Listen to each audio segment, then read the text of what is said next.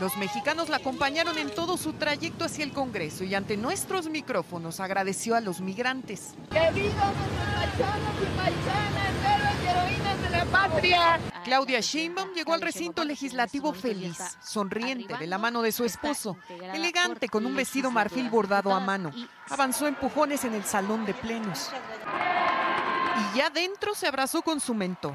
Después hizo lo que ninguna otra mujer en este país ha conseguido.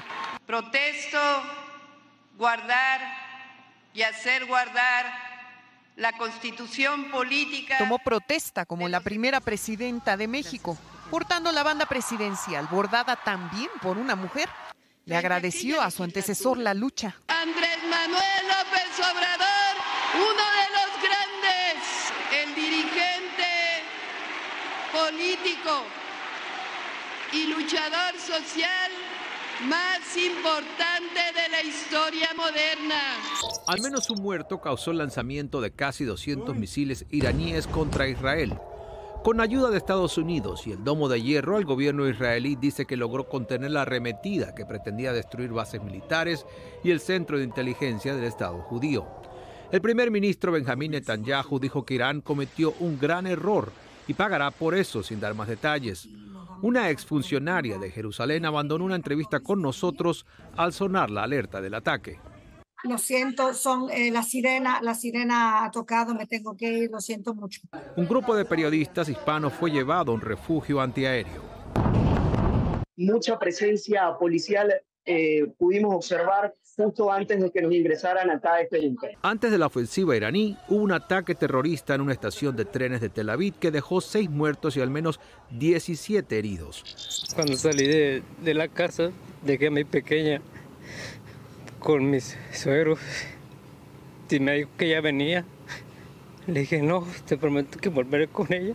Rosa María Andrade está entre varias trabajadoras hispanas desaparecidas por las inundaciones repentinas tras el paso de Helene en Tennessee y Carolina del Norte.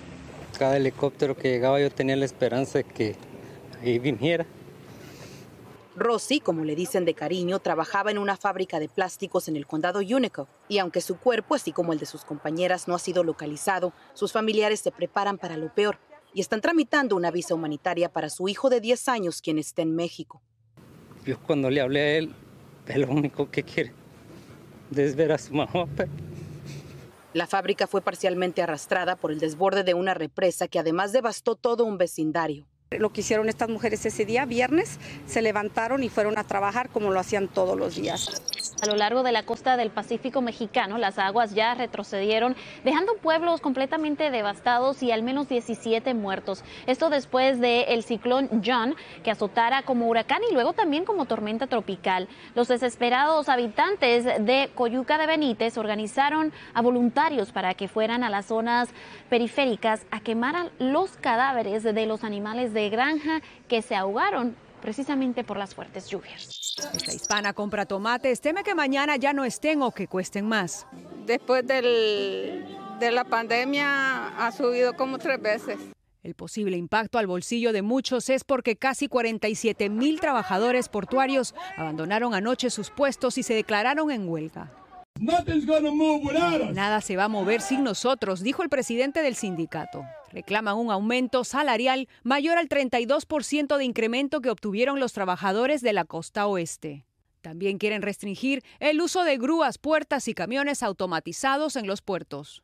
El grupo que representa a los puertos afirma que el sindicato de trabajadores se niega a negociar.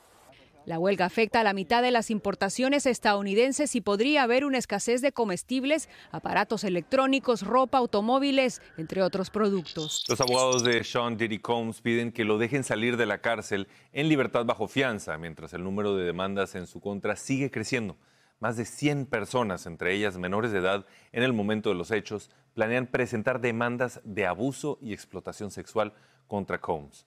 Las inminentes demandas anunciadas hoy en Houston serían las más recientes en la ola de problemas legales que enfrenta.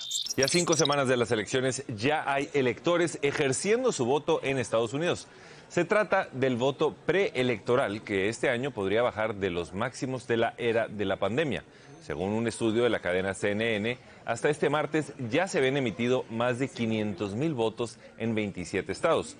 Se trata de una pequeña fracción de los aproximadamente 158 millones de votos emitidos antes de las elecciones presidenciales del 2020.